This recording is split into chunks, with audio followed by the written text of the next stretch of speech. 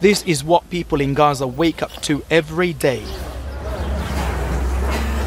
Israel ignoring warnings from world leaders, including its main ally, the United States, and bombing Rafah. A darkness aid agency say that has catastrophic consequences for Palestinians. Israel's takeover of the Rafah border crossing with Egypt on Tuesday means no aid can get in. Aid that's a lifeline for those living in the Gaza Strip. Israel has also denied the UN and other aid agencies access to Gaza. They say the supplies of fuel will only last a one more day. During the last seven months, Israel has been forcing Palestinians into Rafah. Nearly two thirds of the strip's population of 2.3 million are displaced there. That's 1.5 million people. The city had a population of 275,000 before the war. Exhausted and traumatized, they are on the move again, some displaced for the fifth or the sixth time. Israel has told those in eastern Rafah to go to areas that just weeks ago were battlefields.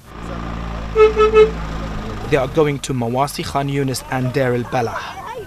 None of these areas have basic services nor conditions considered livable. Many Palestinians are close to famine and suffering waterborne diseases with only extremely poor medical care available. We have suffered a lot. Our children see horrible things and missiles falling. They suffer with trauma all while we're displaced. Even tanks are not far from us. You can see it with your bare eyes.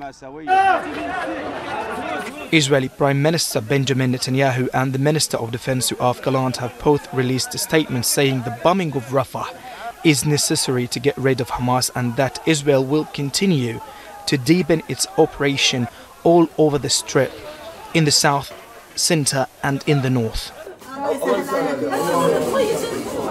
Gaza is often described as the world's largest open prison.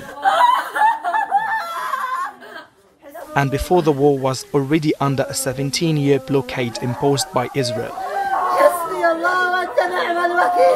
As a ceasefire deal is still being discussed in Cairo, Palestinians in the Gaza Strip are desperate for the war to end.